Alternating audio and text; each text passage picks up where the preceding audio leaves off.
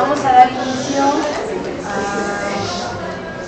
al tercer panel de este día del primer encuentro de comunicación y cultura. El panel que nos concentra esta tarde es el de los medios alternativos, resistencia y contrahegemonía, alcances y dificultades. Eh, les damos la más cordial bienvenida a ustedes como asistentes, a nuestros participantes y bueno, quiero eh, empezar por agradecer al comité organizador eh, que me hayan invitado a participar con ellos en este, eh, en este espacio.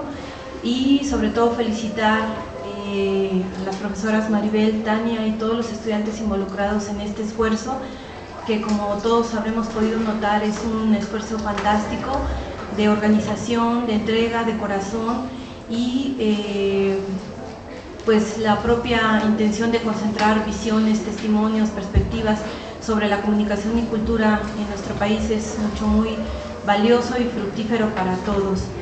Entonces, eh, pues bueno, vamos a proceder a escuchar a nuestros ponentes que, eh, dicho sea de paso, es clave escuchar lo que tengan que decir en un contexto en el que está inmerso nuestro país en la actualidad, sobre todo eh, en el que el sistema mediático que tenemos es clave para entender nuestra realidad y un sistema mediático que como ustedes saben es, está altamente concentrado, un sistema mediático con alto eh, poder de penetración y de incidencia en la toma de decisiones, eh, sobre todo en lo político, y bueno, por tanto resulta más que útil y pertinente escuchar a nuestros participantes.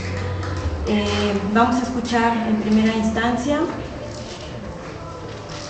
a Manuel Defis, el Defis, perdón, él viene de Radio AMLO, él es realizador y locutor de Radio AMLO y eh, hay que decir que se va a realizar una transmisión en vivo de este encuentro, de este encuentro en eh, el propio medio radio Entonces, eh, pues cedo la palabra.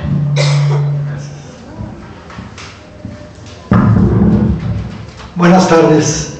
Antes que nada quiero yo este, felicitar a las, al grupo que organizó esta protesta. Esta protesta contra la guerra estúpida de Calderón. Yo merecen un aplauso y este, mi reconocimiento. La importancia de los medios alternativos. Déjenme ponerme los lentes porque ya estoy viejo. Creo que para entender el potencial de los medios alternativos de comunicación en México es necesario hablar un poco del contexto en que se encontraba la prensa en la segunda mitad del siglo pasado.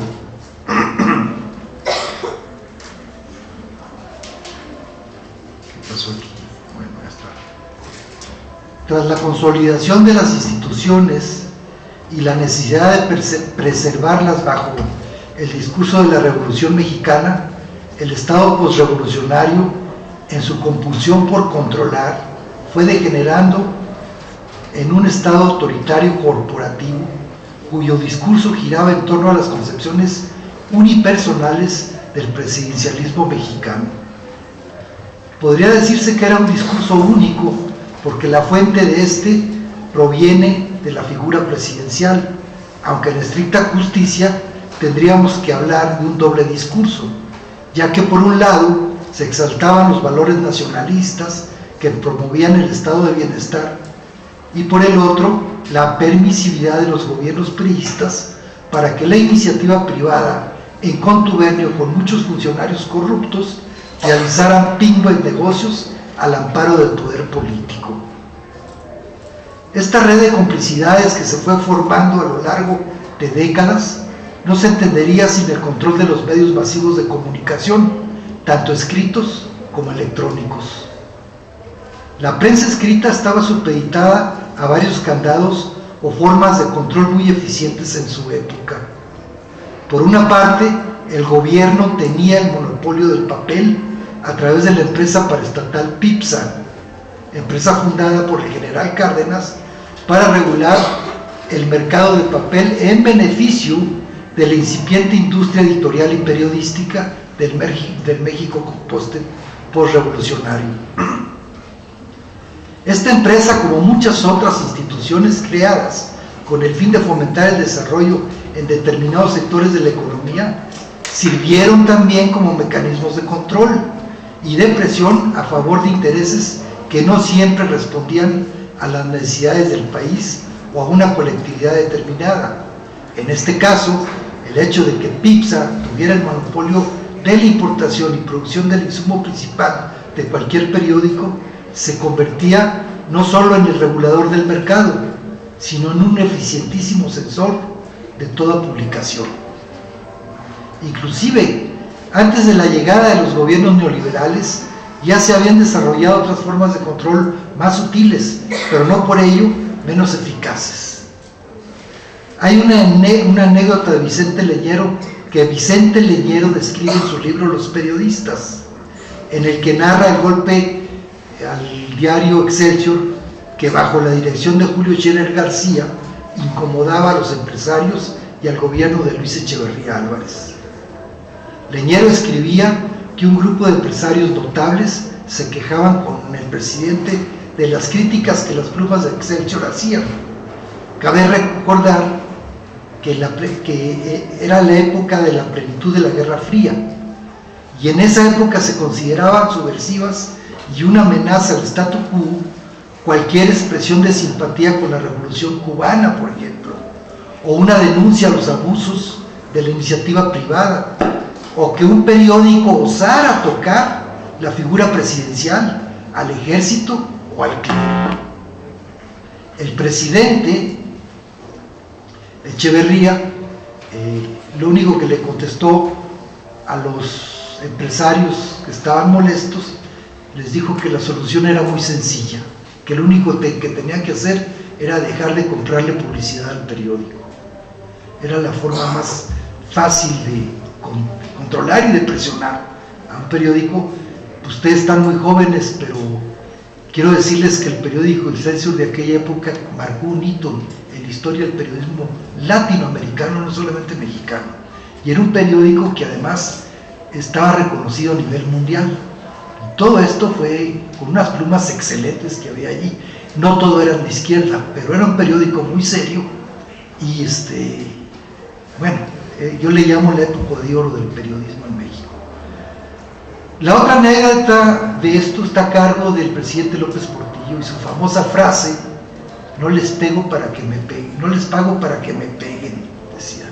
No sé si sepan eso. Eh, tenía un problema con varios periódicos y en una gira que hizo López Portillo a Cuba, ahí le preguntaron. Y él contestó eso, cínicamente contestó eso. No les pago para que me peguen. O sea, el presidencialismo eh, tomando como propio pues todo el país, ¿no? como si fuera propiedad personal del presidente.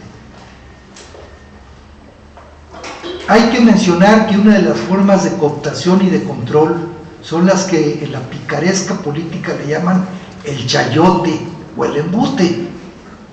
Esto es que se trata de incluir a determinados periodistas con cierto grado de influencia ante la opinión pública en las nóminas de las empresas paraestatales. Y esto se practica hasta la fecha. Y luego la otra parte es la forma en que nacieron las dos televisoras en México, es todavía más ilustrativo de esto que estoy hablando, de cómo el gobierno es parte del engranaje del aparato de poder en manos de unos cuantos potentados. Por lo regular aquí debería ser al revés, ¿no? un poquito como que los potentados serían parte del engranaje. No, aquí el gobierno es un poco lo que decían, eh, decía el tigre Azcárraga, que eh, Televisa y él era un soldado del gobierno. Ahora es al revés. Calderón y Fox son soldados de Televisa. Entonces es un poquito como han cambiado las cosas con los gobiernos no liberales. Bueno, dice, es parte del engranaje del aparato de poder en manos de unos cuantos potentados y la élite de la clase política, no de toda la clase política, hay una élite de los llamados poderes fácticos. Lo que hoy conocemos como Televisa inició sus operaciones en los años 50, bajo el gobierno de Miguel Alemán, fungiendo este como socio de Emilio Azcárraga Vidaurreta, el papá del tigre. De esa asociación nació Telesistema Mexicano, que después, en otra fusión con otro grupo de potentados regios, se transformó en Televisa.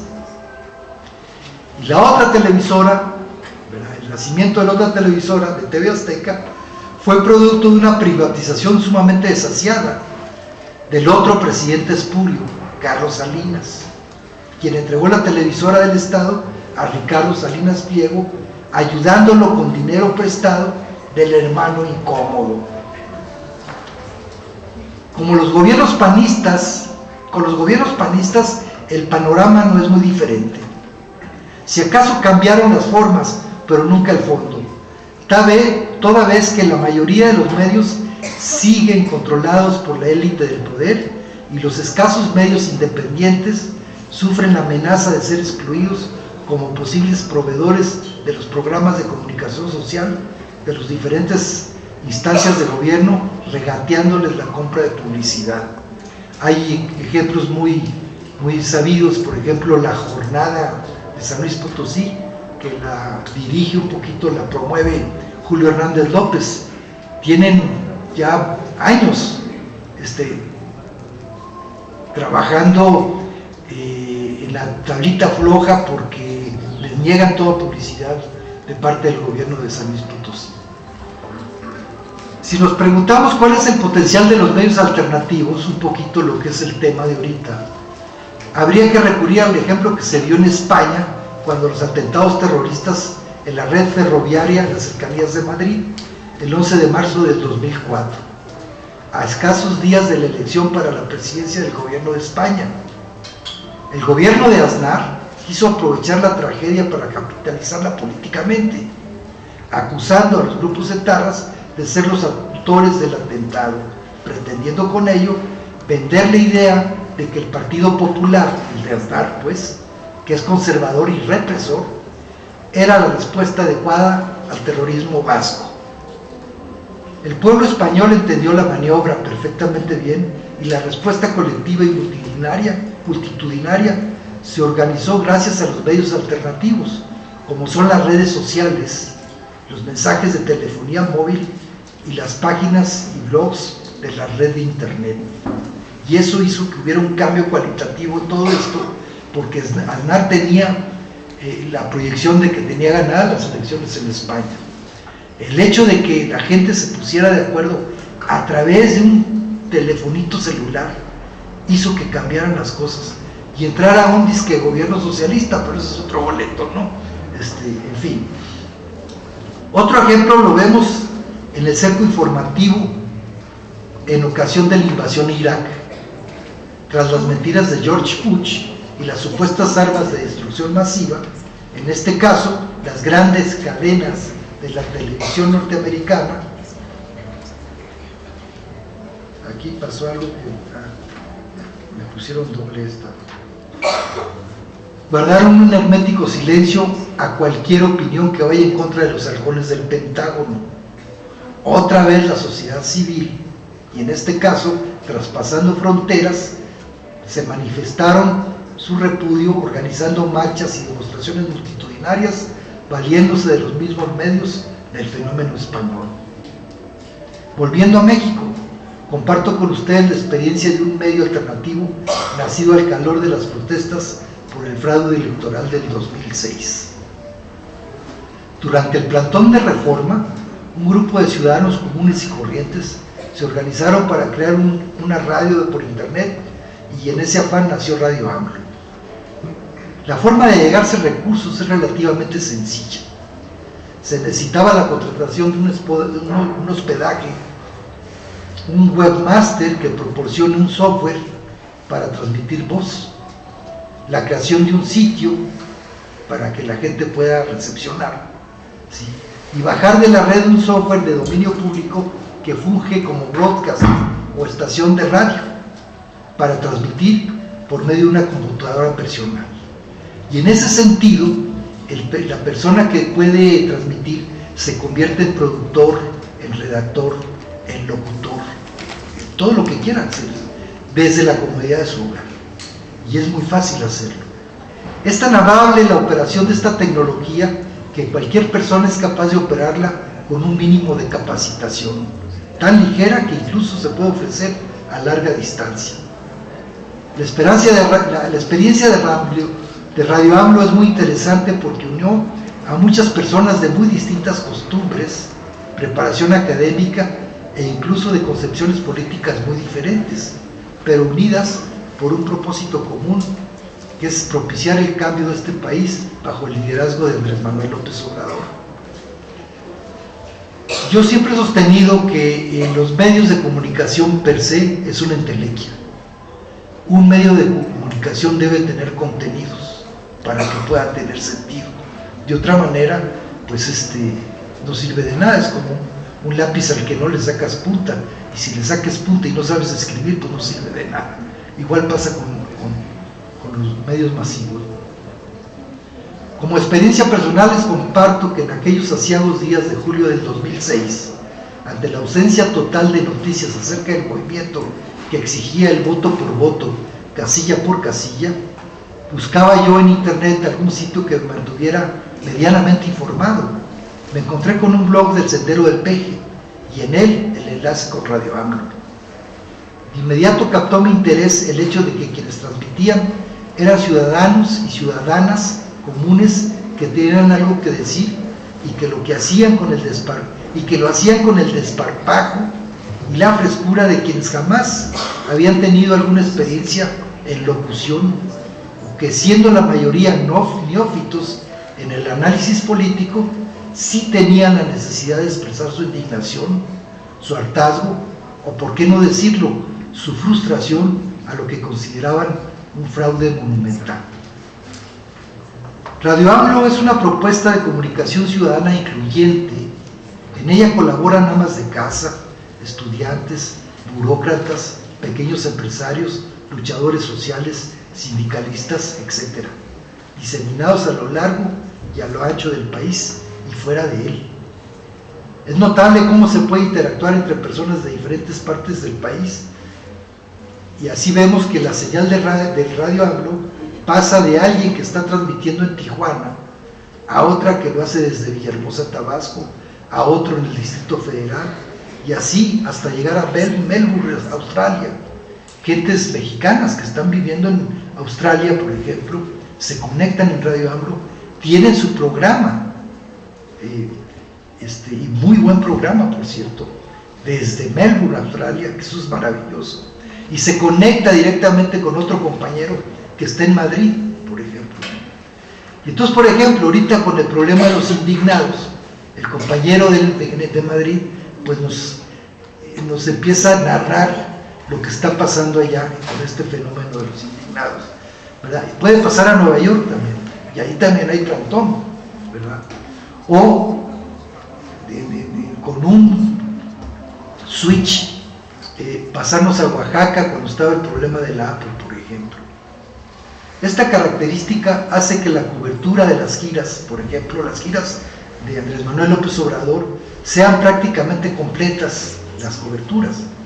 Porque bueno, si el señor está en La Paz, Baja California, ahí hay un compañero que es locutor de Radio AMLO y que mediante estos aparatitos que vimos aquí, las, las tarjetas móviles, puede acercarse al meeting donde está Andrés Manuel López Obrador y transmitir en, en directo, tanto video como voz. Y eso es muy importante. Entonces, bueno, eso lo cubrimos cotidianamente en Radio eh, los compañeros se dieron a la, a la tarea y al reto cubrir las 24 horas del día, por ejemplo. Y eso sí es muy pesado. Entonces, a mí, por ejemplo, me tocó en un tiempo cubrir eh, un espacio de dos y media, de dos de la de la mañana a 4 de la mañana. Y bueno, ¿qué hago ahí? ¿A quién le hablo? ¿Qué les digo? Hay gente que te está escuchando en otras partes del mundo. A mí se me ocurrió poner música clásica. Dije, voy a ver qué pasa, que voy a hacer un experimento. Y empecé a poner las sinfonías de Mahler. Empecé con el Titán, la primera. Luego Resurrección, que es la segunda sinfonía. Y así me fui hasta la, hasta la novena sinfonía.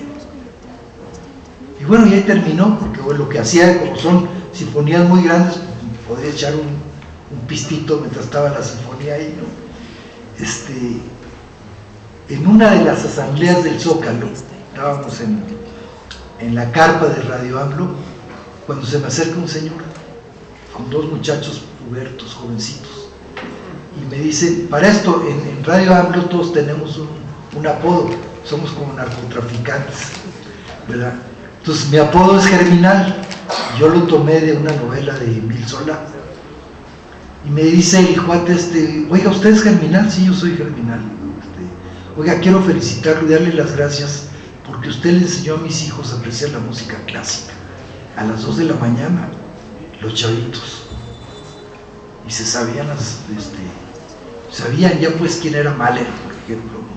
Son cosas que este, que a mí me asombran, porque a las 2 de la mañana un puberto que le guste Mahler, así como que es medio surrealista, ¿no? Como película de Buñuel o algo así, ¿verdad? Pero bueno, este, otra de las cosas que se hace muy seguido es transmitir las denuncias de problemáticas locales, como son los casos de, la, de Atenco, por ejemplo. todo el problema de Atenco, Radio AMLO tenía gente allí transmitiendo en vivo de lo que estaba pasando. ¿verdad? Tenemos grabaciones y tenemos este, filmaciones también. Lo que pasó en Simapán, por ejemplo, el famoso basurero de Simapán, Radio AMLO fue de los primeros que denunciaron eso, porque se acercaron los compañeros de que estaban defendiendo su pueblo de Simapán Hidalgo, se acercaron a la cabina de Radio que estaba en la, en la carpa que estaba en el Zócalo Capitalino, en una de las tantas asambleas de Andrés Manuel. Entonces este, se acercaron y ahí los conectamos con, con diputados y senadores eh, del Frente Progresista. Y entonces, bueno, tomaron el caso en sus manos. Este, lo mismo con lo del APO, ahí también estuvimos. Y obviamente todo esto, eh, lo que para nosotros era más importante, era transmitir las, las asambleas de la resistencia civil pacífica. Todas las asambleas era muy importante. La compañera Pato, que está aquí a un, lado, eh, conseguía, por ejemplo, apostarse en una de las oficinas del, del, Distrito Federal o, este, o rentaban algún cuarto de los hoteles que están dando a la calle del Zócalo para tomar este, eh, tomas, perdón, perdón, la redundancia, ¿no? Eh, la, Cámara pudiera tomar pues todas las concentraciones masivas que se estaban dando ahí. Alguna vez, una, experiencia que a mí me tocó hace poco, fue en uno de los gritos de independencia, eh, precisamente el del 2010, que estaba todo el refregón en varias partes, y en el Reforma y en el Zócalo, y Andrés Manuel daba el grito en Tlatelolco, eh, un compañero mío, amigo mío, que trabajaba en la policía del Distrito Federal con Mondragón, quería saber qué es lo que estaba pasando en Tlatelolco con el movimiento obradorista. Y eso no lo tenía contemplado, porque nos minimizan. O sea, el movimiento obradorista no pinta para ellos, aunque sea el movimiento más eh, congruente y más estructurado en este país desde el punto de vista de oposición. Bueno, este, a, mi amigo se le prendió el foco y dice, pues a través de Radio AMLO. Ellos se conectaron a Radio AMLO para tener la información en la policía del Distrito Federal, porque no tenían cámaras ellos ahí, por ejemplo. Son cosas que suceden, ¿no? La otra gran apoyo que hicimos o tratamos de hacer fueron las jornadas en defensa del petróleo, ¿no? Mientras que para la gente, para la derecha, este, como todavía ahorita lo estamos viendo, como Peña Nieto, que otros le dicen penamiento, este, dice que hay que abrir el petróleo a la iniciativa privada y salta Cordero diciendo esa es idea nuestra. Se están peleando por vender México, de ese tamaño está. Y los medios masivos de comunicación oficiosos y oficiales callados. Y aquí entran muchas gentes que muchas veces vemos como pues, los más decentes. Carmen Aristegui, por ejemplo, No habla una palabra de eso. Si les dicen, por ejemplo, hablan de reforma, de reforma política, y a la hora de, entrevistar al que de veras sabe de reforma del Estado, que es Porfirio Muñoz Ledo, con todas sus fallas y todos sus defectos que tenga, pues no hay, creo, ninguna persona tan capaz como Porfirio Muñoz Ledo para hablar de reforma del Estado. Pues no, pues mejor entrevistan a, ¿cómo se llama este, de Sinaloa? Al que peleó por la presidencia de la República, que perdió, por el primero que perdió, fue el nombre, la, la, la vestida, la vestida Ochoa, en fin. Y la otra gran vertiente que tenemos nosotros como parte de los contenidos como sustancia es las conferencias de los círculos de estudio. El Fisgón, termino, este, el Fisgón eh, organizó una serie de círculos de estudio donde se invitan gente, llega la gente, platica y ponentes de muy buen nivel nos, nos abre un poquito la mente, ¿no? Este, lo que hacemos es transmitir esas ponencias, esas eh, conferencias y después pegarlas a los blogs. Ustedes pueden meterse, por ejemplo, a un blog, a una página que se llama Radio Cuapa TV, que también tiene su radio aparte, que es el Círculo Estudios Cuapa, y ahí está una serie de conferencias que pueden ahorita recuperar en el momento que quieran, gentes como, ¿quién les diré? Como Lorenzo Meyer o eh, Víctor Flores Olea, gentes de muy buen nivel, dándonos conferencias de muy buen nivel. Bueno, con esto termino diciendo que los colaboradores también hicimos los eventos afines, apoyamos los, eventos afines a, la izquierda con la lucha del ESME.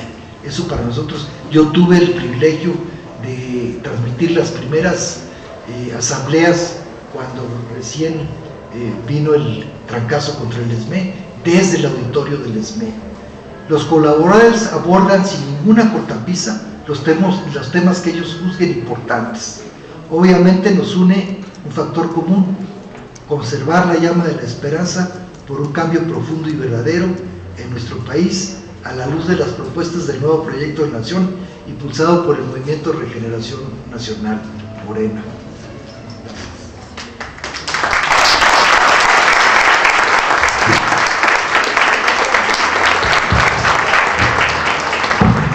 Muchas gracias Manuel por este testimonio. Vamos a escuchar ahora a Fernando Oliva Quirós. Él es secretario de Educación y Propaganda, miembro del Comité Central del Sindicato Mexicano de Electricistas y es director de la revista Lux, eh, que tiene 83 años de existencia, que no es poca cosa. Gracias.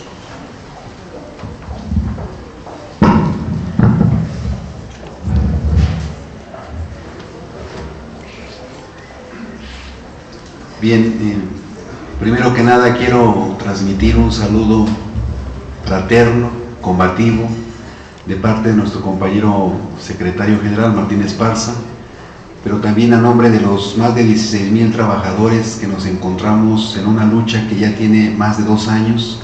Estamos en la resistencia combatiendo a este mal gobierno.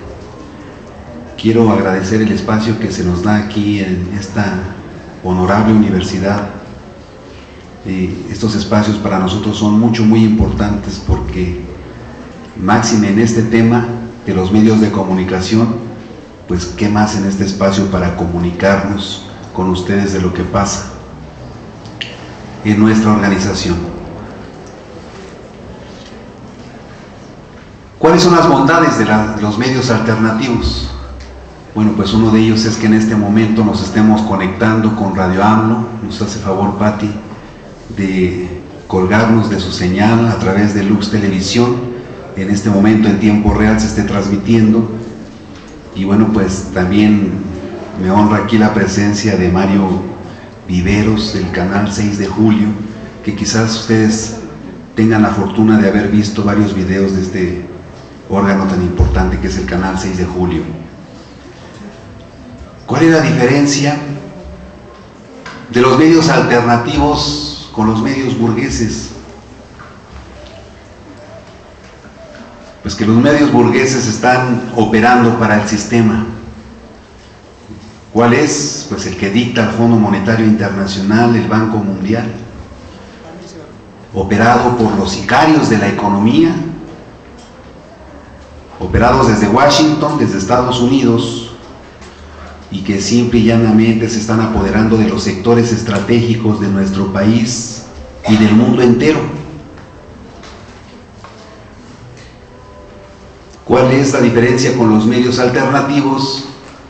Pues que los medios alternativos dicen lo que estamos viviendo abajo en la realidad. Y que no lo van a decir ni en TV Azteca, ni en Televisa, ni mucho menos en Milenio. Entonces los medios alternativos tienen esa fuerza. Inciden directamente porque nosotros somos los que estamos padeciendo y viviendo la pobreza extrema. 70 millones de seres humanos que nos encontramos en la pobreza o en la pobreza extrema. Y bueno, aquí hay que hacer varias reflexiones de ustedes jóvenes que están estudiando. Y es un área tan importante. Yo a veces en varios mítines he expresado con enojo, con molestia, y les digo a los que están trabajando para los medios que no hay un código de ética profesional entre ustedes. Y yo creo que sí, no lo sé, pero yo creo que debe de haber y ese código de ética se rompe, porque uno puede entender que los medios de comunicación es comunicar desde la perspectiva que se tiene. Y yo no objeto que ellos estén transmitiendo desde su perspectiva. ¿Cuál es? Pues son medios burgueses. Nunca van a entender lo que está pasando abajo. Pero es muy diferente romper el código de ética cuando se transgrede cuando se violenta la fuente de la información. Y es ahí donde no estamos de acuerdo. Hace unos días nos dan la toma de nota, que fue prácticamente el inicio de nuestro conflicto, de meterse a la autonomía del sindicato. El sindicato el próximo 14 de diciembre va a cumplir 97 años. Nació en 1914 y es uno de los sindicatos más democráticos pero como desconocemos y nos vamos sobre lo que los medios burgueses nos dicen, ¿y cuál es la referencia del sindicalismo? El Bester Gordillo.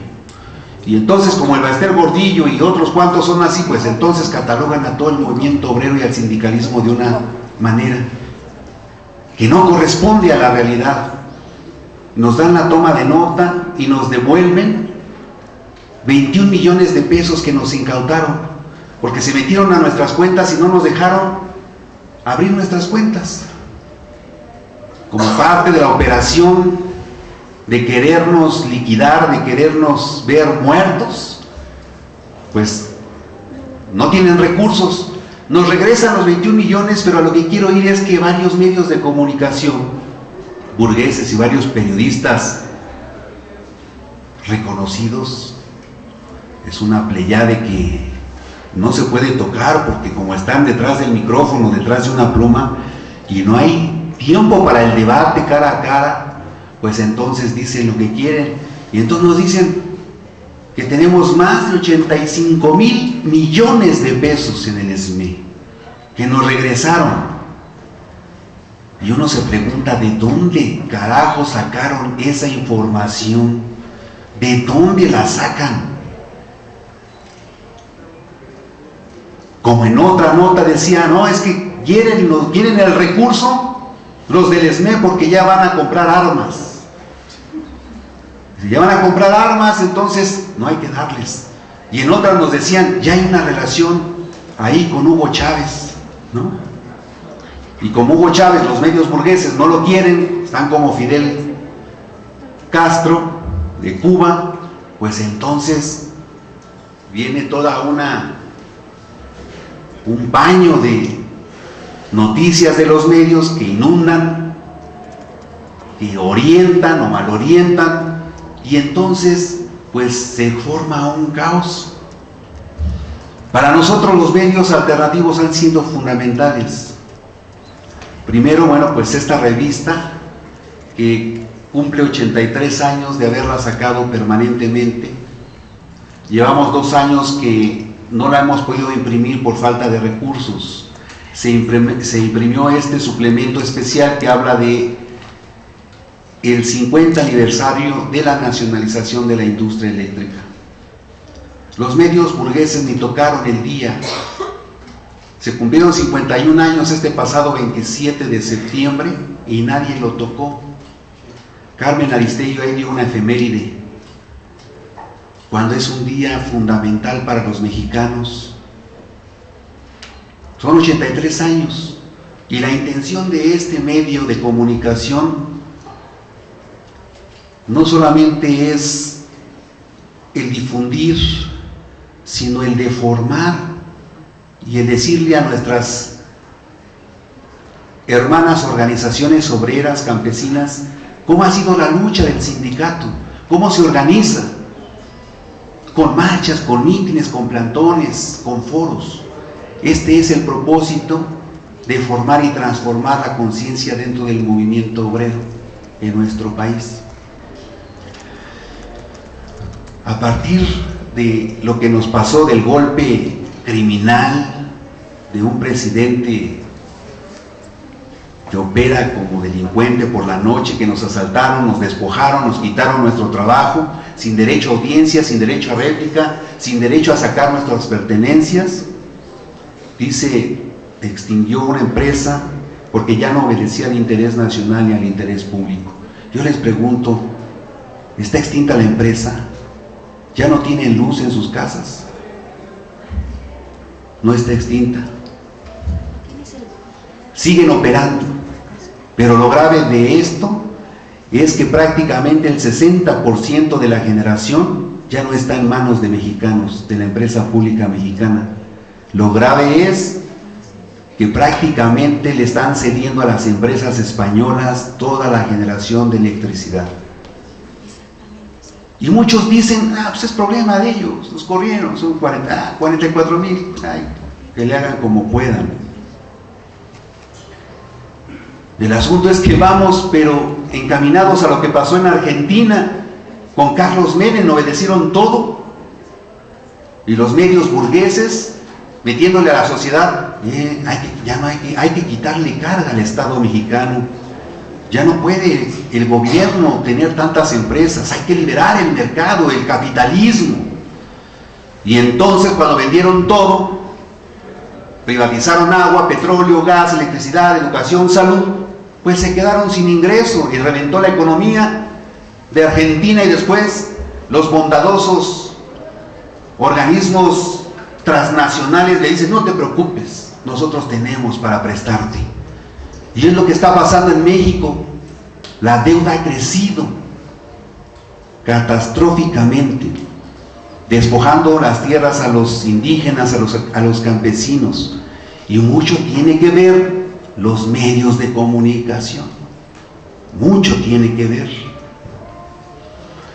Entonces,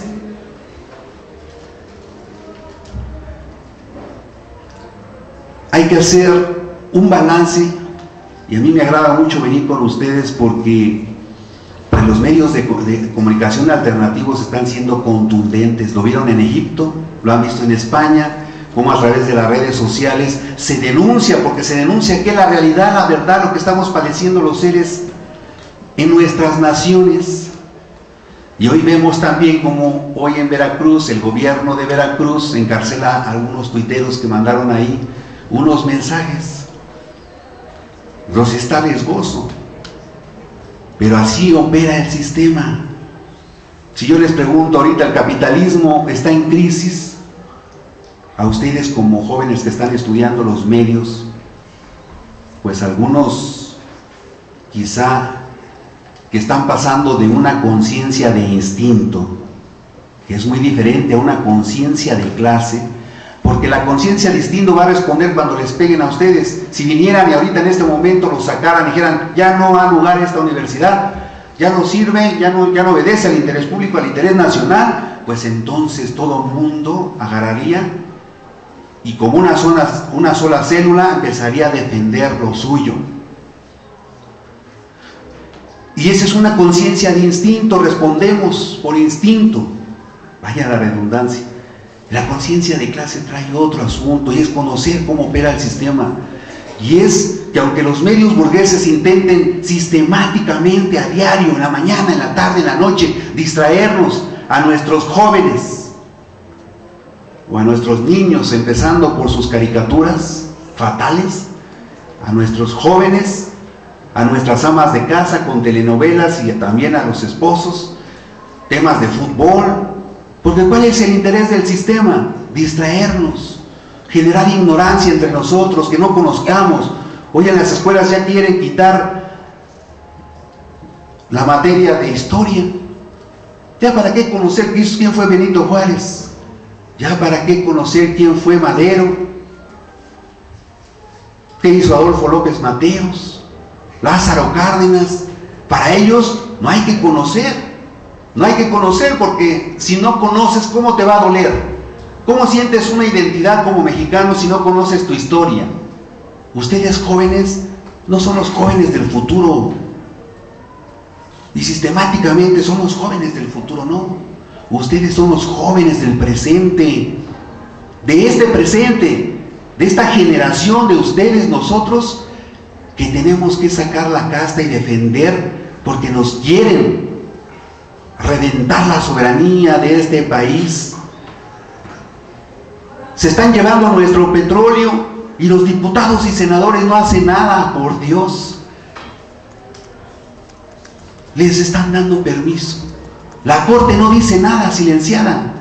Y los medios diciéndonos de las bondades de cederlo. Es que va a haber competitividad, va a haber mejores salarios, va a haber mejores contratos, ¿Cuáles salarios, cuáles contratos? Cuando salgan ustedes, ¿a dónde van a parar? ¿En qué trabajo? Entonces todos tenemos la responsabilidad de atender. Yo quiero terminar con esta reflexión, porque una de las preguntas es, ¿en qué nos pueden ayudar ustedes? los necesitamos urgentemente, compañeros, porque nosotros los obreros necesitamos de conocimiento, el teórico y el práctico. Si ustedes entran a nuestras páginas, ven material, pero a mí me gustaría que alguien nos dijera, ¿saben qué? En 30 segundos van a impactar mediáticamente y tienen que utilizar este formato, esta herramienta. A mí me gustan mucho los videos del canal de Julio porque son contundentes, ¿sí? Pero también son muy laboriosos y muy costosos. Entonces, ¿de qué manera nos ayudan? Ustedes tienen el conocimiento los trabajadores los necesitamos a ustedes jóvenes de este presente, que seguramente que si todos nos unimos, uniéndonos los de abajo, caerán los de arriba. Gracias.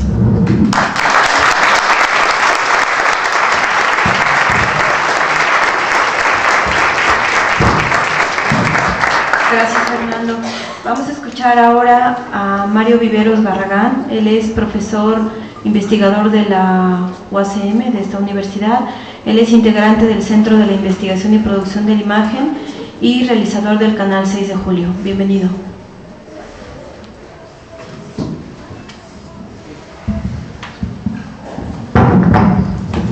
Muchas gracias, buenas tardes. Quiero empezar, pues primero agradeciendo la invitación a los organizadores, este, agradeciendo también las palabras de Fernando, muchas, te agradezco mucho. Este, y pues ustedes por estar aquí. Yo soy, trabajo en la universidad, pero mi trabajo fundamental ha sido desde hace muchos años, eh, trabajo con los medios, con el audiovisual, eh, fundamentalmente con el documental, que es lo que hacemos. somos una muy pequeña productora de documentales, muy marginal, muy chiquita, pero bueno, pues que ahí tiene 21 años, 21, casi 22 años de existir. Nosotros, eh, ahorita les comentaré un poco la historia de, del canal 6 de julio, pero quisiera comenzar eh, con una pregunta, intentando responder una pregunta este, que me parece que puede servir para, para iniciar la plática, ¿no? ¿Cuál es el sentido de un medio alternativo? ¿Por existe, ¿Por qué existen los medios alternativos? Y la respuesta es obvia, pues en países como los nuestros, eh, la gente tiene la necesidad de estar informada y con esta eh, cerrazón de los medios oficiales, de los medios, digamos, este, dominantes, pues tienen, existen otras personas que también quieren emitir mensajes y existen movimientos sociales y existen luchadores sociales y existen un montón de cosas que suceden alrededor de nosotros que tienen que contarse. Y entonces hay un grupo de gente interesada no nada más en el audiovisual, sino también en la radio o en, la fotografía o ahora en las redes sociales, que tiene este interés de comunicar, de, expresar lo que está sucediendo desde un punto de vista, como decía Fernando, más cercano a la gente de a pie, porque al final de cuentas pues todos somos gente de a pie, ¿no? O sea, todos estamos en la calle, todos vivimos la realidad que nos circunda y en este momento pues el terror de lo que sucede en este país. Entonces, este, eh, motivados por eso, un grupo de personas en 1988, 87-88, se reúne en torno al movimiento del Frente Democrático Nacional, un grupo de personas que venían fundamentalmente de la Escuela de Cine, de la UNAM, el CUEC, y fundan ah, con un video que sigue censurado, por cierto, que se llama Crónica de un fraude, este, lo que tiempo después se conocería como el Canal 6 de Julio. ¿no? Es un, les digo, es un medio muy pequeñito cuya única virtud fue en ese momento eh, aprovechar los avances tecnológicos del, momento, ¿no? Por supuesto, muchos de ustedes estarían naciendo, supongo que en 88, un poquito ya tendrían 2, 3 años, no mucho más allá, son jóvenes.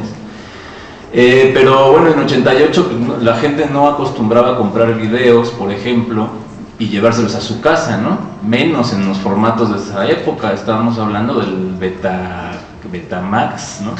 Que era un formato casi chiquitito y se veía bastante mal. Pero bueno, entonces este, el canal inicia con un, con un, un pequeño video que se llama El tiempo y la esperanza, que narra un poco la historia de la campaña de, en ese entonces eh, respetado Cuauhtémoc Cárdenas ¿no? Ahora después de lo que leímos que publicó Anabel Ochoa esta semana, ya no sé si tanto. Pero, este, Anabel Ochoa, Anabel Hernández, perdón. Eh, pero, eh, eh, se me fue la vez. No, pero, entonces surge este, este, este video y la propuesta de vender un documental así, con muy, precios muy bajos, para que la gente lo viera en la televisión, en su tele, en su videocasete, lo pusiera y lo viera en su casa. De esa manera vencíamos a la censura. Esa era la idea, ¿no? Desde la, decía Carlos Monsiváis que desde la, tele, desde la sala de tu televisión, desde tu televisión en la sala no, no había manera de que el gobierno viniera a cortarte la señal. Este, y esa idea empezó a, primero la fue rechazada y después empezó a gustar un poco, a gustar. Vino Crónica de un fraude, este, empieza a funcionar mucho mejor y así, y así, ¿no? Hemos tenido a lo largo de todos esos años mejores momentos, peores momentos, todo en la vida, ha habido eh, documentales que se han visto mucho, los documentales de, los zapatistas en 94, 95, este, los del fraude en 2006, eh, los de los videoescándalos en 2004, este, Tlatelolco, que fue de, de, de, 2002, etcétera, etcétera, varios que hemos podido sacar. Por supuesto, el que trabajamos conjuntamente con el Sindicato Mexicano de Electricistas, fundamentalmente el primero que corrió muchísimo por ahí, etcétera, etcétera. Este, lo importante aquí es, por un lado, que uno como parte de un medio de este tipo, yo tengo 11 años trabajando ahí, este, desde que salí de la escuela me vinculé directamente con el 6 de julio. Eh, lo importante para nosotros es el concepto de la resistencia.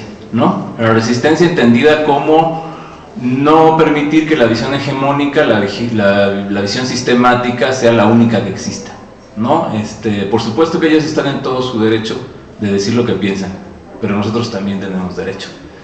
También tenemos derecho de salir a la calle y grabar y de montar y sacar un proyecto, un producto, perdón, un producto comunicativo, como lo conocen aquí, este, ya sea un documental, un programa de radio, una rola, lo que sea, ¿no? Y, ese derecho pues, es nuestro, es de los ciudadanos. En ese sentido, este, es importante que, que, entendamos eso, que es un derecho y que los tenemos que ejercer esos derechos, sobre todo por el cambio tecnológico. ¿no? Desde hace tiempo es mucho más barato producir, por ejemplo, en video, es mucho más fácil editar en una computadora, este, hacer un programa de radio, hacer un, streaming, una, una, transmisión por internet, etcétera, etcétera. Esas posibilidades que, hemos ido viendo, como decía, como decía el compañero de Radio AMLO, que hemos visto con el ejemplo en Madrid, con lo que pasó en, Egipto, etcétera, etcétera. Bueno, pues todas esas posibilidades ya, ya no, son posibles, válgame la redundancia, con el avance tecnológico. ¿no? Para mí, yo recuerdo que, por ejemplo, en 2006, cuando todo este asunto de la APO, eh, nos quedamos viendo el trabajo fotográfico de los chavitos, de los que tenían en ese entonces 21, 22 años, y que se fueron a tomar fotos del conflicto eh, de la APO, ¿no? Y era interesantísimo porque es una, una sensibilidad distinta, esta sensibilidad digital que ya traen los chavos, que muchos de ustedes seguramente traerán, y que lo que nosotros pensamos es que hay que pulir nada más. ¿No? Una de, los vertientes del 6 de julio, más allá de hacer los documentales, es también empezar a transmitir conocimiento, ¿no? Cómo se hace un documental, por ejemplo, pero cómo lo haces de una manera más profesional, que me parece que eso es fundamental. Nosotros sostenemos esta tesis de que la enseñanza del documental es también otra, otra forma de resistencia otra forma de este, seguir eh, aguantando todo este poder de, hegemónico del, sistema, ¿no? Y que nosotros tendríamos de alguna manera que transmitir ese conocimiento, por eso algunos del 6 de julio estamos aquí en la UACM intentando dar clases, algunas no siempre, no siempre se puede, no todos los semestres se puede, pero bueno, cuando se puede, ¿no? Y armando diplomados cuando hay ciertos apoyos y esas cosas, ¿no? Porque evidentemente, bueno, pues en el caso del documental, pues si no tienes cámara, filmas, ¿no? Es un detalle, hay, que superar esos detalles, ¿no? Ahora, por otro lado, tampoco quisiera venir a contar una historia romántica. Ser un medio alternativo tiene sus consecuencias, ¿no? Este, la, independencia implica ser realmente independiente. No, es muy fácil decir soy un medio independiente, pero, pero tengo recursos del INCINE o, o del gobierno federal o X, de donde sea, ¿no? Y, tampoco está mal, o sea, es legítimo también tener esos recursos. Lo que nosotros tenemos es, bueno, si eres independiente de verdad, pues independiente, ¿no? Haz tus producciones como puedas, con, lo, con el dinero que puedas juntar tú solito, con la venta de tu trabajo, ¿no? Este, y, qué ganas con eso? Pues la libertad de decir lo que se te pegue la gana, nada más. Yo no conozco a nadie que, esté en estos medios que se haya vuelto millonario y rico, este, haciendo productos de la resistencia, ¿no? Hay que venderle el alma al diablo para volverse ricos. Entonces, bueno, primero sepan, sepan en dónde están metiendo, ¿no? Porque aquí así, así, es, así es la cosa. Y en un momento como este, en donde sí están matando periodistas, eso es cierto, este, sí están secuestrando gente, en donde sí está realmente pesado el asunto, pues hay que andarse con cuidado. Yo lo que digo es, más allá de, de los ardores de la pasión, hay que ser inteligentes, hay que ser reflexivos. Yo comparto lo que decía, este, perdón, Germinal. Comparto lo que decía Germinal en el sentido de que hay que tener profundidad en los contenidos. Ya hay que hacer investigaciones de verdad. Uno de los problemas de la militancia, desde mi punto de vista, no de toda, por supuesto, nunca se puede generalizar, es que no investiga realmente, no, hace con seriedad los, muchos de los, productos. Y lo que pasa es que nos los desmontan de volada. Entonces nosotros decimos, no, hay que meterse a la investigación dura. ¿No? Y hay que sacar los datos fuertes, los que sean irrefutables, porque el, asunto es que hacen muchas cochinadas. Pues hay que decirlo, pero no nada más, no nada más decirlo, no, no nada más gritarlo, hay que demostrar las pruebas. Y si de plano no las encontramos, pues mejor no lo decimos. ¿no? Entonces eso me parece que es muy importante, es decir, que nuestros trabajos no nada más sean profesionales, sino que sean serios en cuanto a investigación, que tengan un peso real, de manera que no nadie pueda venir a echártelos para abajo. ¿no? Este, ya medio me fui en un lado, este, quisiera un poco redondear la idea del, y luego pasar a, supongo que va a haber sesión de preguntas y respuestas, con una cuestión que me parece fundamental, que tiene que ver con la, una discusión que tenemos dentro del oficio, ¿no? Eh, y que tiene que ver con la ética y la responsabilidad social. eh, un poco también lo que decía Fernando. Los comunicadores, en el caso de, lo que yo puedo hablar, los documentalistas, tenemos una responsabilidad social desde mi punto de vista triple. Una, con la gente eh, que, que nos presta su imagen para hacer los documentales, o con los movimientos sociales, con ellos. Otra con los espectadores. Nosotros no podemos ir y decirles mentiras, no podemos. Y la más importante con nosotros mismos, ¿no? Porque yo sí pienso que para poder ver a la gente a los ojos es importante que uno no tenga eh, manchitas ahí en la historia, ¿no? Entonces hay que respetarse mucho, y eso se los dejaré a ustedes que son estudiantes, hay que respetarse mucho, aunque eso implique a lo mejor no avanzar tan rápido en nuestra carrera profesional, hay que picar piedra, pues así es. Yo no, sé, supongo que a ustedes les ha tocado picar piedra mucho, ¿no? Bueno, pues ni modo. así seguimos los que estamos un poco más grandes que ustedes. Seguimos picando piedra. Pero este, como recompensa tenemos la posibilidad de mirar a la gente a los ojos y decirle, no le debemos nada a nadie. Lo que decimos lo sostenemos. Por supuesto tenemos una postura muy clara ¿no? Y esa postura clara este, me parece que es una de las discusiones más obvias, o sea, la objetividad famosa que, con la cual dicen estos que se erigen en jueces de la sociedad, pues no, existe, no es tal, ¿no? Todo mundo tenemos una posición en el mundo, tenemos un punto de vista y hay que sostenerlo, ¿no? Entonces, bueno, yo les diría a ustedes que eh, tengan mucho cuidado con esa responsabilidad social, sobre todo ustedes que son estudiantes de una universidad pública, ¿no? Porque además, pues están en deuda con su sociedad, que es la que está pagando sus estudios. ¿no? Eso pasa con todos los que somos, los que son estudiantes, fuimos estudiantes y somos profesores de, la, de las universidades públicas. No somos, por supuesto, un fraude educativo, claro que no. Pero para decir eso, pues tenemos que demostrar el trabajo. Entonces yo los invito a que no, no, que consuman a los medios alternativos, que los analicen, que los critiquen, hasta, los del 6 de julio, este, que, nos digan en dónde estamos mal. Y ese es el debate. Nosotros producimos videos para, para generar el debate, para decir, hey, nosotros la vemos así, ¿ustedes cómo la ven? ¿Cómo ven al país? Nosotros lo vemos, lo voy a decir tal cual, de la chingada. ¿Ustedes cómo lo ven? Y ya que, lo, ya que nos digan cómo lo ven, ¿qué hacemos? ¿O lo dejamos así? Yo ahí la dejo y lo seguimos platicando.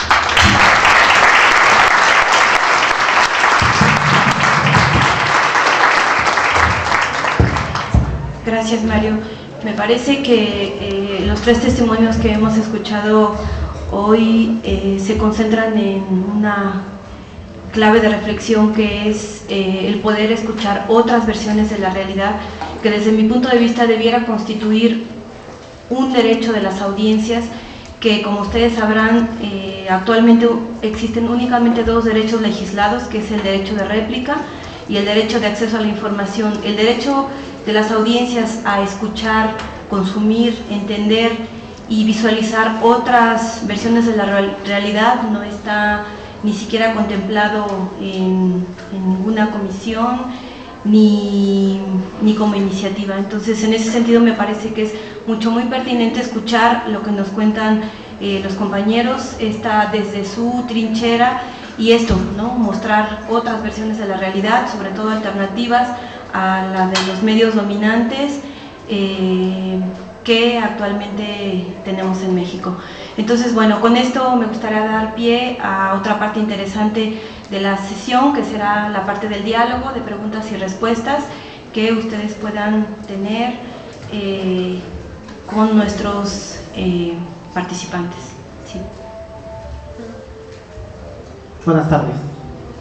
Este, hablando de los medios dominantes este, y de la información hegemónica este, que es producto este, de la manipulación de la verdadera información y ustedes como medios alternativos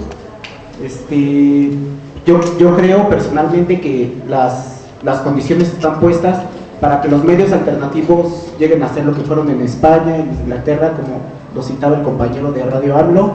Entonces ustedes como representantes de medios alternativos ¿qué estrategias propondrían para tener más difusión en cuanto a a, este, a la impartición de información.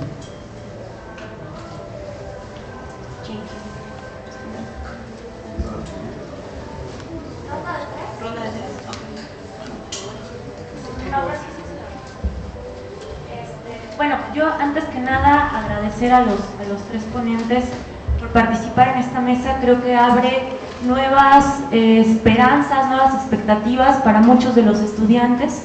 Eh, cuando estamos en clase, ¿no? inevitablemente surgen las preguntas sobre cómo eh, combatir este monopolio. Y entonces muchas veces se les caen los hombros a los estudiantes pensando, bueno, pareciera ser que el monopolio es Televisa y no se puede hacer nada al respecto. Sin embargo, bueno, creo que la presencia de estos eh, testimonios vienen a abrirnos como una nueva venta de esperanza.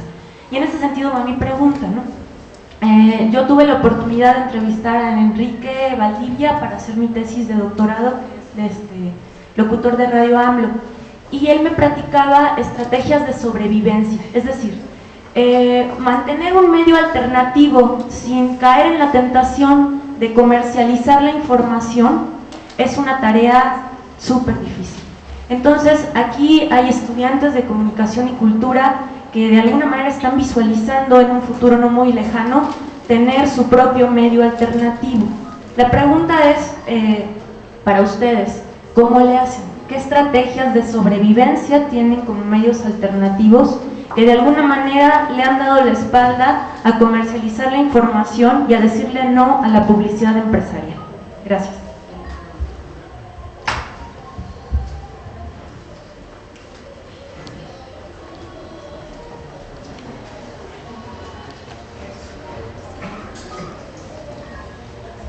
Este, buenas tardes. Eh, yo tengo una pregunta para el panel. Este, ayer y hoy he escuchado el mismo comentario por parte de los panelistas, donde dicen que a nosotros, cito las palabras de un panelista en la mañana, que nos importa más el desmadre, que nos importa más la tele o el fútbol.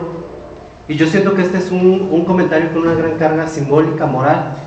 Yo te reviraría la pregunta y diría, ¿Por qué nos cuestionan a nosotros esto si ustedes como generación precedente, o sea, no estoy materializando a alguien en especial, este, permitieron que esto pasara así? Entonces, ¿por qué ahora siendo que nos quieren como que cargar el muertito cuando esto es todo un proceso de más atrás?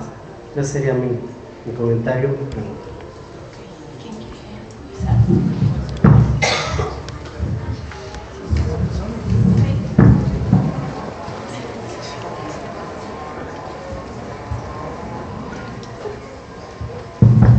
Empiezo a contestar, este, luego van los compañeros también, me imagino que es, la tónica, ¿no? si ya es tiempo de hacer lo que se hizo en España, dice el compañero, yo soy de la idea que los movimientos sociales mucho tienen que ver las coyunturas, los momentos históricos determinados. Eh, quiero darte un ejemplo, por ejemplo, lo que sucedió en 1985 con el temblor aquí en la Ciudad de México. La gente se volcó como una sola persona a levantar esta ciudad de nuevo. Los barrios se, organizaron, salieron líderes por donde quiera. Este, fue un momento de necesidad lo que hizo que la gente reaccionara, tomara conciencia, un poco la conciencia de la que hablaba el compañero del ESME, que yo le llamo conciencia del parásito, o sea, la conciencia social. Todos estamos jodidos y de alguna manera hay que levantar esto. Lo que está sucediendo en España obedece un momento, un momento determinado, que es diferente al de México. La derecha es muy dada a querer eh, traslapar o trasladar fenómenos de otras partes acá y querer que esas, por ejemplo, a Andrés Manuel Carato le exigen si se parece a Lula o si se parece a Chávez o a Fidel Castro y Andrés Manuel les contesta, yo quiero un modelo mexicano a la luz de la historia de México, no tengo por qué estar trayendo otras cosas. ¿Qué viene con esto? La gran pregunta que estás haciendo es, ¿hasta dónde va a aguantar el pueblo mexicano de tanta barrabasada que hay todos los días? Eso es algo que de veras es importante. De tanta, ¿cómo le llamaría yo? Eh, tanta burla a la inteligencia del mexicano por parte de la clase dominante. Eh, ya va a llegar un momento que tiene que reventar. Es algo que le llaman masa crítica y está a punto de darse. ¿Cuándo? No lo sé. Es bien difícil saber eso. Así lo veo yo. los medios serán un, un soporte más, pero no es. La conciencia de clase se adquiere por las necesidades de uno mismo, de las conciencias de uno con los demás. Y el medio ayuda a hacerlo pero no es el factor principal para que se haga. ¿Cómo comercializar la información? Mira, yo al menos en mis programas de Radio AMLO tenía yo un dicho, un eslogan que me fusilé de Luis Hernández Navarro, el director de la opinión de la jornada, que dice que la información es un bien público y no una mercancía. Y en ese sentido, yo diciendo eso, de entrada me estoy curando. Pero si ya estoy diciendo eso, pues ¿cómo voy a hacer la mercancía? Pero ese es el caso mío, muy personal. Y echarle la culpa del valdemadrismo a la generación anterior. Compañero, yo le eché la culpa a mi papá también del madrismo mío. O sea, es así como una cadenita, ¿verdad? Yo creo que es injusto. Lo que le dijo el compañero en la mañana o el día de ayer, es injusto decir que ustedes son la generación X y una serie de cosas ahí. Hay que ver cómo el imaginario colectivo está manipulado por los grandes medios de comunicación masiva. El compañero hablaba de las telenovelas, del fútbol, de los panamericanos. Es muy triste, a mí me encanta ver el deporte, por ejemplo. Es muy triste ver los panamericanos y estar pensando que, que el espurio de Calderón va a estar dándole besitos a la, a la Paula Espinosa, ¿verdad? O que todo el país esté chicharado. Es terrible eso, ¿verdad? Y el muchachito que se hinca todos los días y le reza a la Virgen de Guadalupe, ¿verdad? Lo tienen endulzado porque es un muchachito que salió de alguna escuela de curas de, Guadalajara y es un muchachito bien portado, el típico nerd que mete goles en, en, Inglaterra. yo lo vería más por ahí.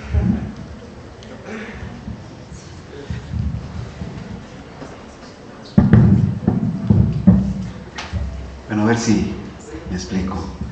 Voy a empezar de, compañero que dice, ¿por qué cargamos el muertito? ¿Por qué nos cargan el muertito? Dice. ¿Y por qué nosotros no hicimos nada? Pues claro que hemos hecho, compañero. Hablaba Mario de que tiene cuántos años luchando con sus documentales. Los compañeros de Radio AMLO, nosotros tenemos muchos años, 97 años vamos a cumplir generación tras generación, tratando de reivindicar las conquistas de los trabajadores, no solamente para nuestra organización, sino para todo el movimiento obrero nacional e internacional. Yo lo que digo es de que para ustedes que están estudiando esta honorable carrera, porque hay periodistas muy notables, pues es, voy a ligar la pregunta que hacía aquí el compañero, dice, ¿qué alternativas damos? Bueno, pues es que cuando hay conciencia de lo que está pasando se puede entender mejor el problema y podemos hablar con la verdad o comunicar la realidad, ser imparciales. Pero hay que, hay que conocer. ¿Qué, alternativas? Bueno, pues hay varios movimientos sociales que se están dando y estamos esperando que, pues a la gente que está preparada, a la gente que tiene conocimiento, los trabajadores hacemos, en este caso, que quizá no conteste lo que decía la compañera, dice, cómo mantenerse ajenos de la comercialización, no sé si está bien planteada o así entendí bien tu pregunta. Nosotros en el caso del ESME, bueno, pues no tenemos ningún ámbito de, querer sacar, y bueno, algunos que tienen, como decía Mario también, pues si se quieren dedicar a los medios alternativos, como que no hay mucho, este, si se tiene una conciencia clara, bueno, pues mucho más, mucho más se va a contrarrestar ahí los embates del gobierno de querernos, querernos tentar con el recurso económico. Aquí en el ESME, pues, ¿qué es? Es denunciar es que se conozca el movimiento, que se conozca por qué estamos luchando los trabajadores. ¿Cuáles son las alternativas que tenemos? Bueno, pues la revista que ya les dije, la revista Lux, tenemos un radio SME por internet que estamos luchando desde el 14 de diciembre de, de 2008, tenemos un periódico La Resistencia, tenemos Lux Televisión y tenemos la alternativa de que en la música también pues ya de música con la letra que ya es famosa, bueno, pues entonces cambiamos la letra y la hacemos como una música de protesta, ¿no? Entonces, bueno, pues hay muchas alternativas que ustedes pueden incorporarse, entender los movimientos y de ahí con su conocimiento ir fortaleciendo las herramientas, pues de diversas formas.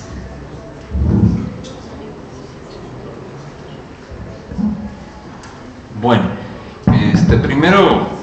referencia a lo que decía el último compañero de, que se les echaba la culpa como generación, yo no, yo personalmente, ahora, sí que no me puse el saco, ¿no? Yo la verdad es que no, no le echo la culpa a nadie, no me parece que sea una cuestión de culpas. Este, a lo mejor sí, pero no me parece que eso resuelva nada. Este, ¿qué hemos hecho? Tampoco es que estemos de generaciones tan distintas, ¿no? Pero ¿qué hemos hecho? Este, pues nosotros seguimos luchando como podemos, poniendo nuestro granito de arena. Digo, tampoco un documental, y esa es una conciencia que tenemos que tener clara, pues un documental no va a cambiar al mundo. No conozco a ningún documentalista serio que piense que con un documental va a cambiar al mundo. No, nosotros lo que hacemos es ayudar un poquito. Lo que pasa es que sí hemos ganado algunas batallas, los medios alternativos. O sea, no se les olvide si hemos ganado batallas, por supuesto que hemos ganado batallas, se los demuestro. Este, el, sistema dijo que Digna Ochoa se había suicidado, pero ahí con el apoyo, no, no, no, no nada más del 6 de julio, pero la jornada, este, que, no es un medio alternativo, pero sí es un medio de este lado, pero la jornada, proceso, los las ONGs que no son medios, pero que, que también tienen peso a nivel de comunicación, este, los defensores de derechos humanos, etcétera, etcétera, pues todo el mundo hizo, eh, dejó claro pues para la conciencia social, la conciencia colectiva que a Digna la mataron. Por ejemplo eso, ¿no? Por ejemplo, el sistema dijo que los zapatistas eran transgresores de la ley guatemaltecos. Y, el, peso de la, de la, llamada sociedad civil en ese entonces les dijeron, no, o sea, son nuestros indígenas, y si no le paran a la guerra, se arma el, gran problema aquí y Salinas de Gortari le tuvo que bajar. Y así hay muchas, ¿no? Así hay muchas en Atenco. Pues ellos dijeron que, ya habían solucionado el problema. Y por el trabajo de mucha gente, fotógrafos independientes, medios, todo el mundo, salió a, flote y a la luz que a las mujeres las habían, las habían este, maltratado sexualmente y se les, se les, ahora sí que se les hizo bolas el engrudo. Entonces, por supuesto que hay el, asunto del, 2006. Si, si, la visión dominante fuera siempre la ganadora, pues estaríamos viviendo en el mundo feliz de Huxley, pero no es así. vivimos un mundo mucho más complejo de, de eso, y, y, ahí está la batalla, ¿no? En la que participamos de una manera, es decir, no nos comparamos con el noticiero de López Dóriga porque ahí lo ven de una sentada 10 millones o más. Y a nosotros nos pueden ver mil, dos mil, tres mil, diez mil personas. Quién sabe, ¿no? Ni siquiera hay un, algo que mida a quién nos ve, ¿no? Sin embargo, bueno, cuando somos muchos, y ahí están las estrategias, por ejemplo, en el caso de nosotros, Romper el Cerco es uno de los documentales que nos abren los ojos, ¿no? Cuando nos juntamos con otros medios y difundimos con, en ese, en ese momento era este, Indimedia, cuando difundimos con ellos llega todo el mundo y todo el mundo lo vio, ¿no? Y entonces sirve porque otros medios empiezan a agarrar la información y se empieza a generar una discusión con, referencia a lo que sucedió en Atenco. Y entonces ya no pasó tan así, ¿no? Claro, del otro lado responden y meten a Nacho, no sé cuántos, tenía 116 años, una cosa así, ¿no? Bueno, ya está libre. Entonces, por supuesto que se ganan las batallas lo que pasó más dramáticamente en Madrid, etcétera, ¿no? O sea, ellos tienen fugas de información, esas son las que nosotros aprovechamos. Eh, por otro lado, ¿cómo sobrevivir? ¿Cómo difundir? Bueno, híjole, pues es la pregunta que nos hacemos todos los días, ¿cómo le hacemos para seguir vivos, no? ¿Qué hemos hecho, por ejemplo, en el 6 de julio lo que hemos hecho fundamentalmente es, este, pues em, estamos trabajando en las universidades, ¿no? Y hacemos el trabajo voluntario en el canal. ¿Qué nos da en la torre a nosotros, eh, como, como productores documentales, la piratería? Nos hace pedazos. O sea, nosotros salimos con un nuevo producto y al ratito está 10 mil veces en YouTube y, este, y, y en el metro lo venden, ¿no? Está muy bien porque hay mucha difusión, pero no entra un centavo para el canal. Y entonces luego no hay dinero para seguir haciendo más videos. Por eso le bajamos al ritmo. Ahora estamos, generalmente producíamos cuatro o cinco al año, ahora estamos haciendo dos o tres, ¿no? Este, pero ahí seguimos. ¿Por qué? Porque hay una idea, que además es una idea que retomamos de la tradición documentalista, desde los 20, cuando Siga Bertov, que es uno de los documentalistas más importantes, un ruso, dice, bueno, lo que nosotros hacemos es un trabajo necesario. Y eso es lo que a nosotros nos queda claro, es un trabajo necesario, la sociedad lo necesita, necesita oír otras voces, necesita escuchar otros puntos de vista, aunque no esté de acuerdo con ellos, pero lo necesita escuchar. No, para mí una de las cosas más bonitas que he oído con referencia a mi trabajo es cuando alguien una vez ahí en el Faro de Oriente nos dijo, después de ver el documental de Zapatistas, nos dijo, yo no, esto que vi yo no sé si es verdad o no, yo no sé si me están choreando o no, pero sí me deja claro que vivo en un país que no conozco. ¿No? Eso para nosotros es importantísimo porque sabemos que estamos haciendo algo necesario. Y yo diría, para terminar, que en estos tiempos, con 50 mil muertos, con la violencia que se vive, con la impunidad, con todo lo que estamos viviendo, empezamos a hacer, un, en el caso de nosotros, documentales de urgencia. Estamos en un momento de que los productos comunicativos son de urgencia y hay que hacerlos. Los que sean, como sean, como se puedan, para difundirlos donde se pueda. Y eso me parece que es la única manera de sobrevivir, pero también de afectar la realidad, ¿no? Es decir, de decir a la gente, órale, muévanse, movámonos todos, ¿no?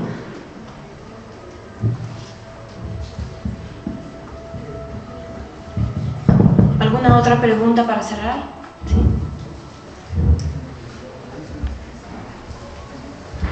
Este, bueno, más que no sé si sea comentario o sea pregunta, eh, bueno, no me acuerdo quién dijo que desde abajo podemos tirar a los arriba, no se les hace como si fuéramos Egipto, ¿no? Con puras armas, porque si nos damos cuenta, llevan años de lucha desde abajo, este, promocionando, eh, ya sea en, los, en los paros estos, en haciendo meeting, y sigue habiendo la misma corrupción desde hace 200 años que empezó, si no es que más, ¿No se les haría o no se haría mejor si nosotros como comunicadores nos uniéramos y entráramos arriba a los más altos puestos y cambiáramos totalmente, bueno, se suena como una fantasía o puede ser una utopía, pero pues sí podría ser, ¿no? Podríamos estar, en los más altos puestos, en los más altos, en los mejores medios, cambiando, hablando como hablan ustedes, ya ser un líder de opinión a nivel nacional, a nivel Latinoamérica, no se recomendaría mejor en lugar de estar desde abajo con los medios alternativos, entrar directamente a los medios de masas?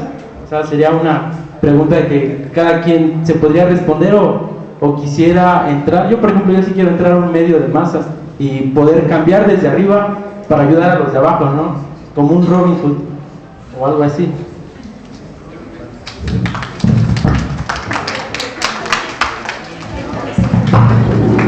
compañero, este, es, es, esta posición que estás planteando,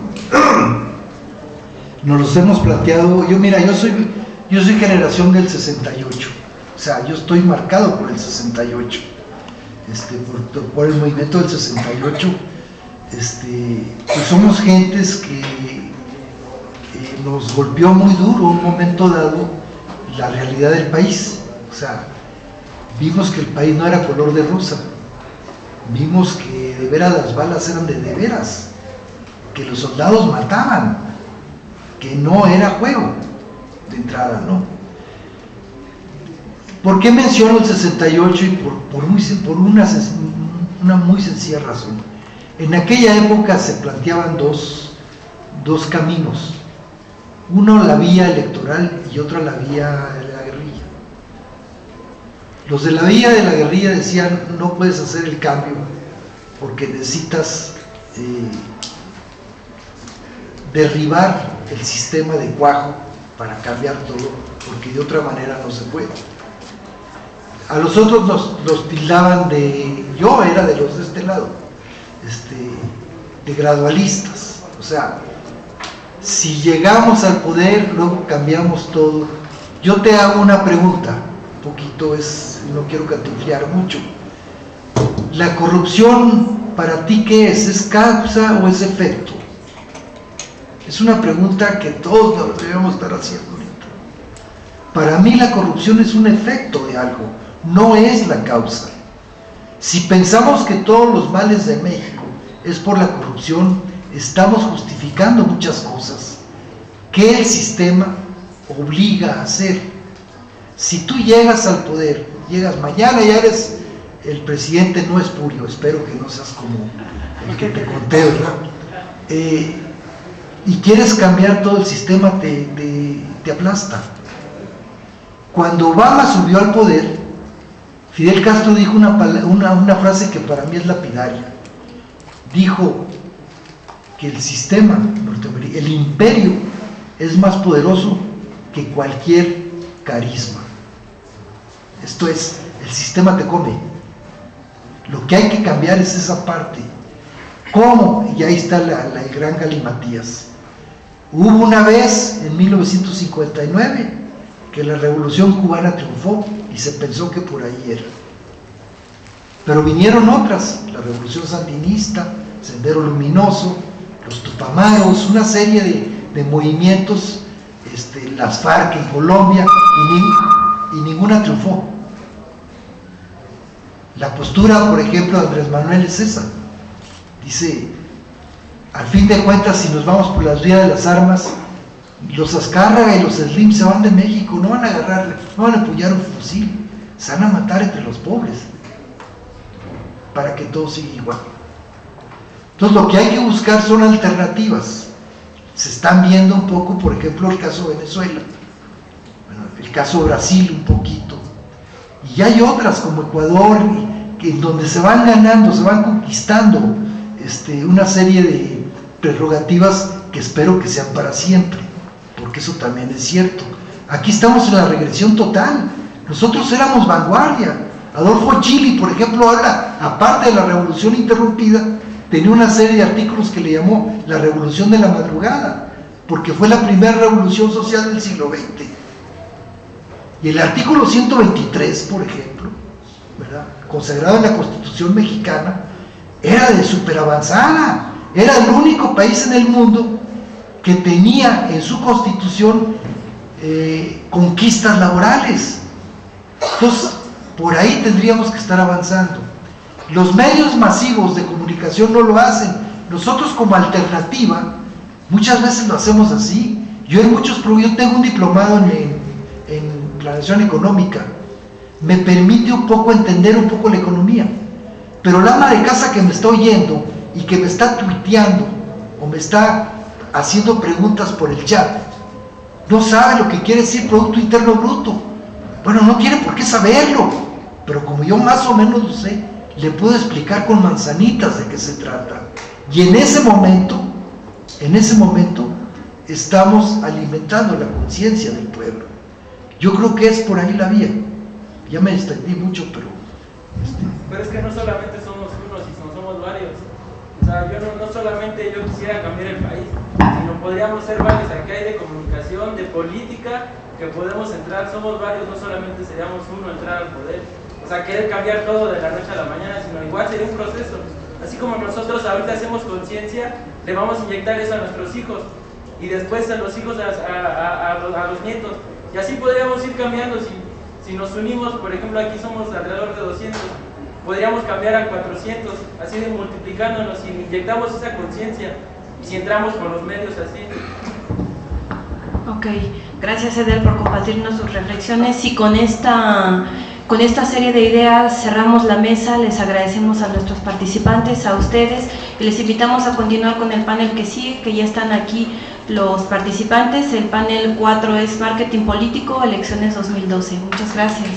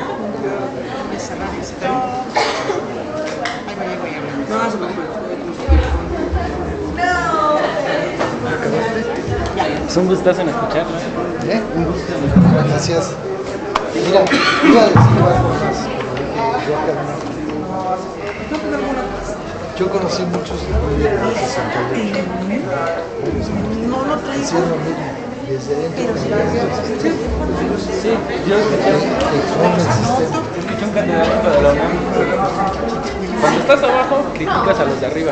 Ya cuando entras arriba, te cambia totalmente el panorama porque o le entras o no entras. Pero bueno, ejemplo, no sé, no sé si sea un... Está bien, es una utopía, pero es válido. Ajá, no sé si sea un sueño. Rescata, Sí. ¿no? es importante. Sí, ¿no? sí, siempre hay que. Sí, porque yo me he ido por medios alternativos también. Pero me dijeron, si vas a ser un medio alternativo, como, tienes que saber, tienes que investigar un contenido para que des algo. No nada más lo vas a dar, bueno, este, estamos en contra del sistema y. Sino tenemos que profundizar. Así es. Entonces, pues si todo... Tienes que leer mucho, tienes que ver mucha televisión, que no te rías. De todo. Hasta las La tele telenovelas. Tienes que ver. Tienes que leer muchos periódicos. Tienes que leer mucha literatura. Tienes que ver mucho. Para ser un buen comunicólogo necesitas todo. Escucha mucho radio. Pero ya. Analiza a este No, le voy a poner periodista. Sí, ya se murió. Te recomendaría yo. Pero los grandes periodistas y sobre todo lee los artículos de fondo. De la jornada, algunos de, de proceso, algunos del Universal y de Reforma. Porque eso te va a dar una perspectiva. Te queda otra. Si realmente quieres ser comunicador, tienes que leer como. Si no vas a ser uno del montón, no, pinche jilguerito de ti. Y tienes que buscar bien, tienes que ir a- primero este, escribir notas eh, que no te van a gustar y a dar hueva. La chamba. Bueno. Vete, métete a un grupo de El mejor en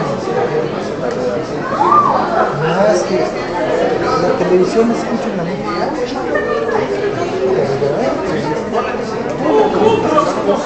Es.